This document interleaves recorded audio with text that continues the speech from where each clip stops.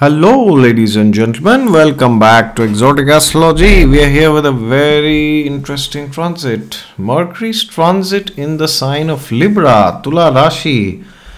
Very interesting transit because Libra is a great sign for Mercury. Libra is where Mercury can express itself in an excellent way, and also because it is lauded by Venus, uh, which is bit counterintuitive or you could say which is very strange because the sign where venus gets exalted which is pisces uh, mercury gets debilitated there okay?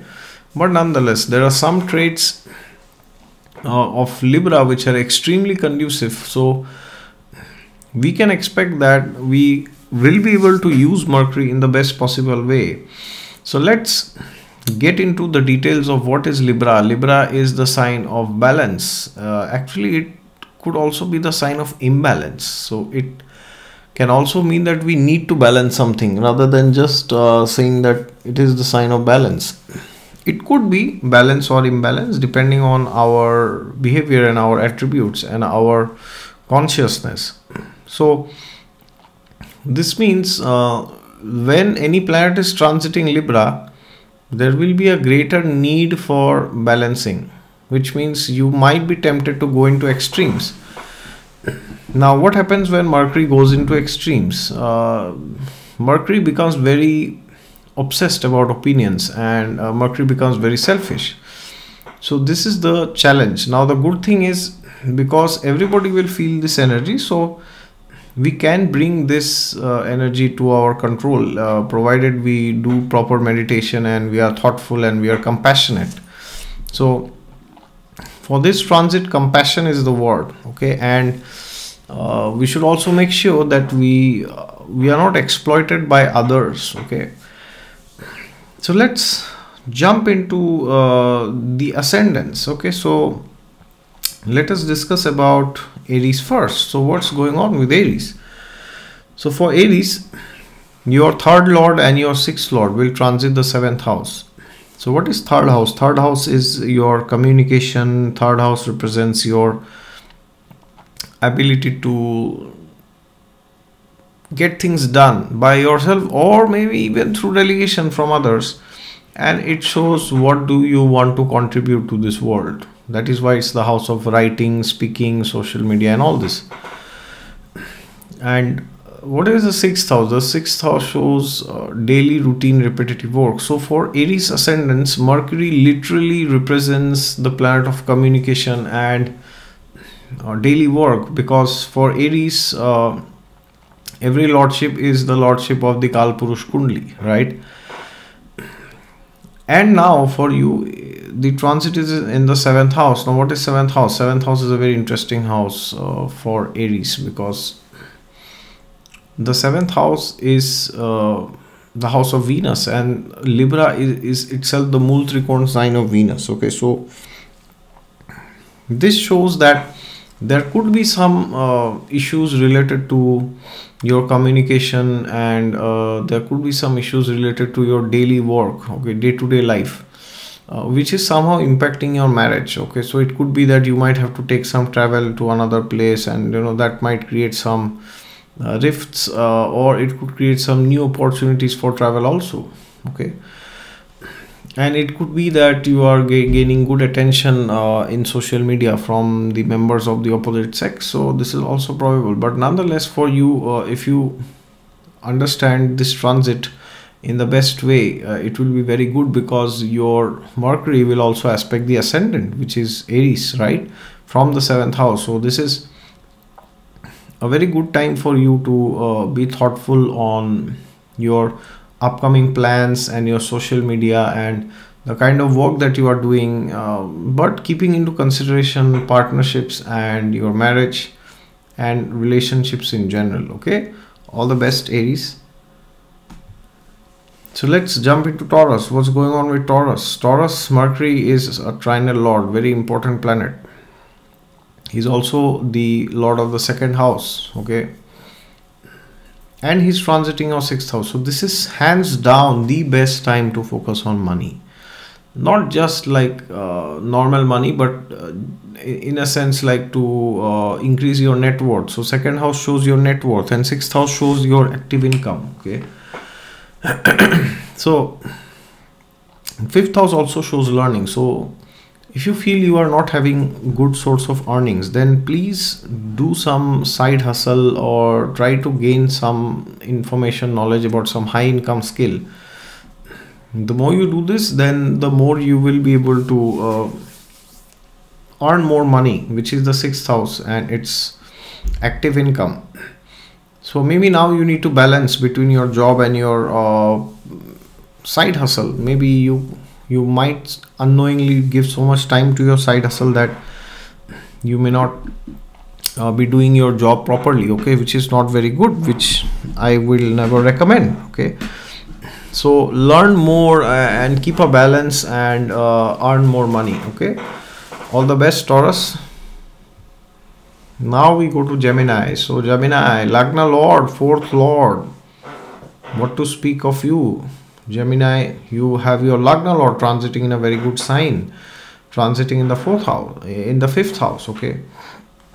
So the fifth house is the best house in the horoscope. So if if your lagnesh is traveling in your fifth house what else do you need in life okay so the fifth house uh, shows your hobbies and your passion. So uh, this time uh, is the period where you should focus on developing some new hobbies. You know uh, fifth house shows things which you do without any reason okay? So what are those things that you do without any reason you know without any consideration of money or wealth time anything? It's like you're just doing it spontaneously but this is not just spontaneously uh, but since mercury is also your fourth lord so you are also trying to balance with your education and your uh, knowledge basically. Okay so learn more do more and don't think of anything. Just do what you love okay? Uh, of course this doesn't mean you are doing bad things uh, Ill- illegal or immoral things but in general if you have something that you love which is allowed then well uh, explore your time okay and try to balance your life between your education and your hobbies and your health of course okay. Lagnesh in transiting in the fifth also a great time to check out on your health and improve your health if required okay. All the best gemini. So now let's go to cancer. So what's going on with cancer? Third lord 12th lord transiting in the fourth house. Very very very interesting for cancer mercury is the planet of travel okay? Because the third ninth and 12th are houses of travel and mercury is ruling both the houses two houses okay among the three. So for you this transit is in the fourth house which means you might you might travel for some education related work okay so third lord is entering the fourth house which means some form of travel is coming for in the house of education. Or it can also show uh, that you are trying to learn something new in your profession because third house uh, shows you know things which you do for some short period of time you know like uh, very very small very short very quick.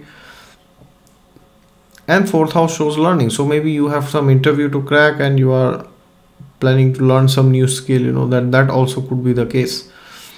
And 12th house shows things which are in the back of your mind. So it may be possible that you were thinking to do something from many many months or days or even years and now is the time that you get to implement it okay? So great time please utilize this properly okay? All the best cancer. So now we go to leo simha lagna. One of the best planets in your chart. The second lord 11th lord exceptionally great for finances and mercury is the karaka for finances. So now this transit is in your third house. So the planet which is controlling your wealth is going into the third house. So maybe now is the time that you build your online portfolio. So if you have some skill which you can monetize now is the time you start a channel in YouTube or Instagram page or LinkedIn page or you should have some online presence. Online is the word for you. So the more you go online now the more you will earn money. Okay so if you are doing things offline please take it online. And if required do some travels also but if you use this transit properly you will be able to beautifully uh, plan out your life okay? Second house is net worth 11th house is like your uh, big income okay? So where do you earn big from in life? So try to take that to social media. Try to share content. Third house is where you share what you have with the world. So share your content. Don't keep it with yourself okay? And this will be the best time uh, for these like around two weeks okay all the best leos. So now let's go to virgo. What's going on virgo? Lagnesh and 10th lord. The best planet for your name fame power position. Both the houses show name and fame okay? And is transiting your second house. So this second house is the house of net worth. So just like i said for leo and taurus even for virgo um, it is very important that you focus on your profession exclusively on your profession and you also keep a note on how much assets do you have and where have you allocated them. So for example if you have too much money uh, maybe in stocks you know maybe you can see uh, if you could diversify it a bit into you know like real estate and some other things or i mean of course i'm not a financial advisor but i'm trying to tell you that maybe even if you don't diversify into other areas maybe within the uh, stocks you can see you know what is their blue chip or like you know whatever it is like you know different uh, type of companies you know some are like growing very fast some are growing slow. So you need to uh, diversify and have your assets spread out so that if there is some danger then you can uh, always rely on some other asset okay? At the same time uh, when you see that something is going good then you can all, always invest more in that okay? Nothing wrong with it. But nonetheless you need to get a rebalance of your portfolio. And if you're not earning if you don't have any net worth then uh, try to see if you can earn some money from somewhere okay? If required or else second house also shows education. So if you're a student then you can always focus on your studies okay? Okay so now we go to libra. So for libra lagna just like Cancer, Mercury is ruling two travel houses, ninth lord, twelfth lord.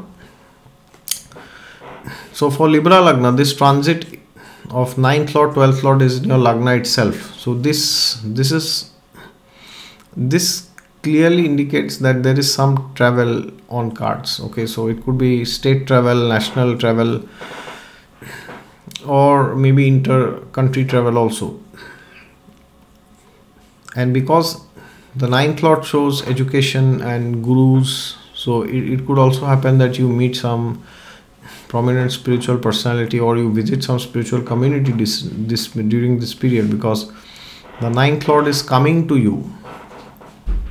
This literally does not mean that the guru will come to you. It could also mean you are going close to the guru okay? But nonetheless uh, best time for spiritual progress uh, excellent time for travel excellent time for learning excellent time for getting to know different cultures different languages. So if you want to start some language course this is the best time. You should start it. And mercury in general when it transits the ascendant uh, it always gives a great social life okay? So if you have this transit in the first house well then go and socialize meet like-minded people and elevate yourself spiritually and materially also. All right libras so now we go to scorpio so what's going on scorpio 8th lord 11th lord 8th house is unearned money 11th house is gains okay now this is very peculiar because this transit is happening in the 12th house now what is 12th house 12th house is actually the house of losses or expenses. Now you might be thinking, oh, it's the same, right? Loss and expenditure. Well, certainly not. See loss is a loss. There is no doubt on it. There is no debate.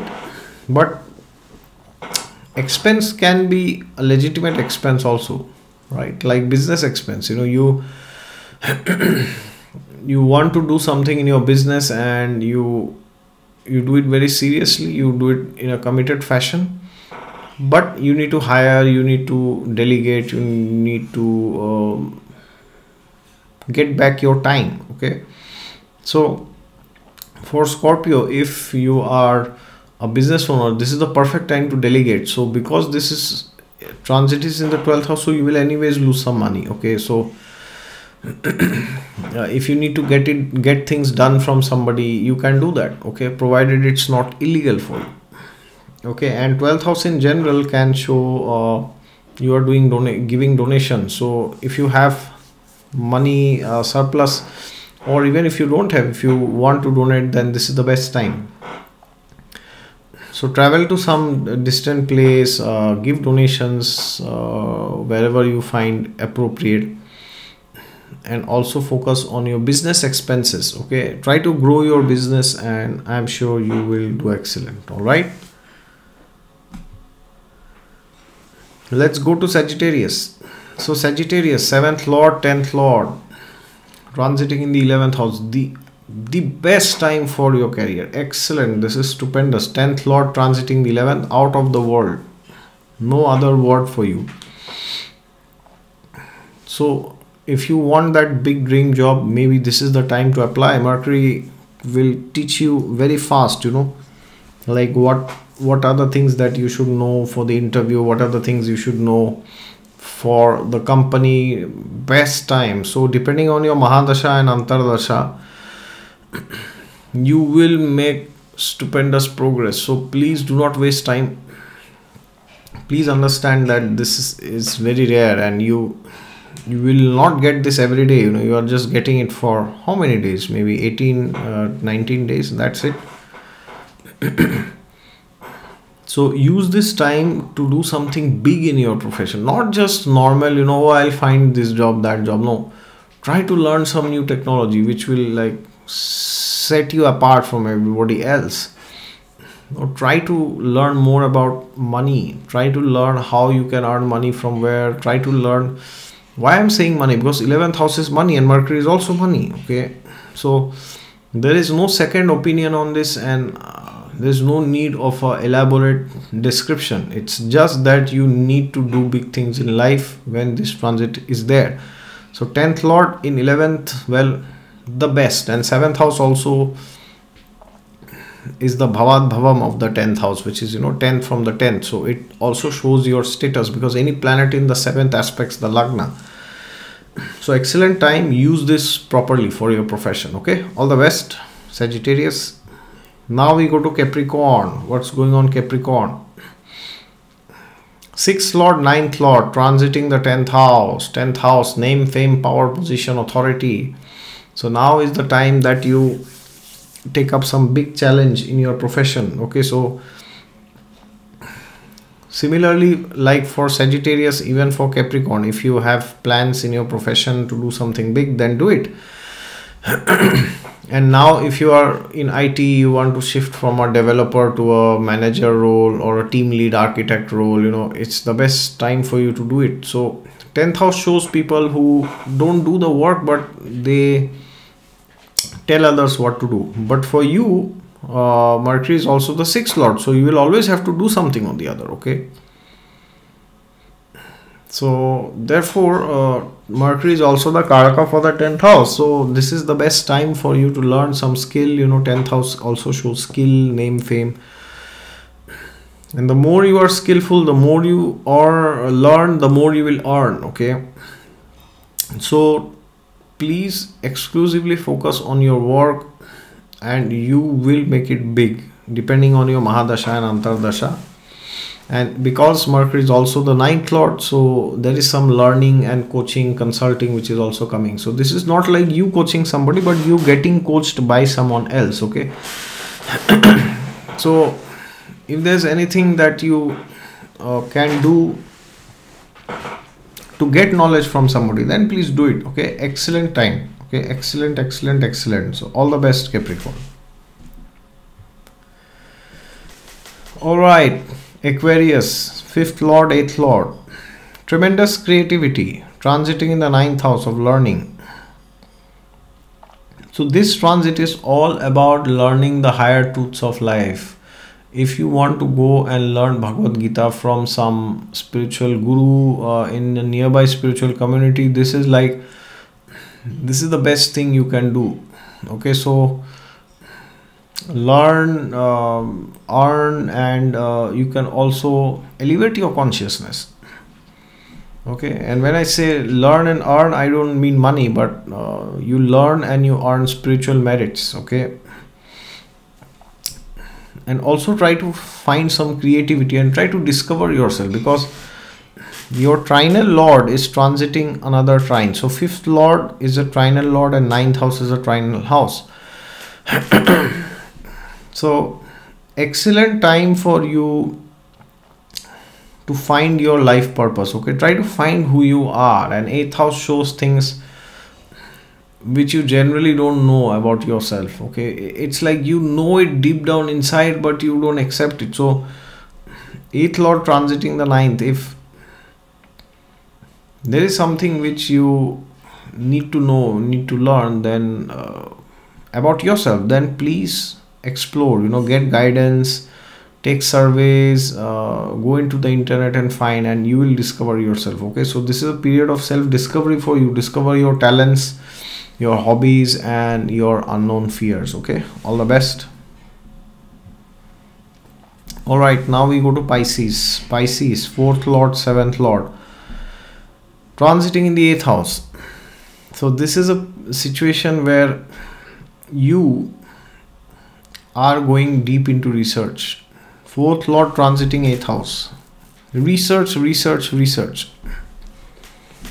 now, what kind of research is it? Is it just that you are uh, learning something, or are you doing some certification, or are you just studying something? No, it doesn't mean that. It, it means whatever you are doing in life, either it's your health, you need to research.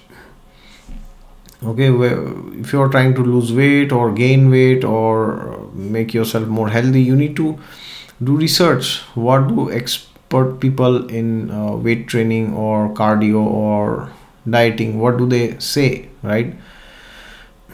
You will have to find everything in context of your profession. Also and in terms of your marriage also you know. Maybe if your marriage is not working why is it not working? So you are trying to do research and educate yourself in every area of your life okay? So the more you do this the more you will actually understand that you are able to find so many deep insights about yourself that you never knew. And in this your spouse can also help you okay? Because the seventh lord is transiting the eighth and in essence it could be also a good time to uh, associate with your in-laws you know so maybe you can visit them have a nice time with them okay so nonetheless for Pisces, learn and do research and grow in every area that you are. Okay. Thank you.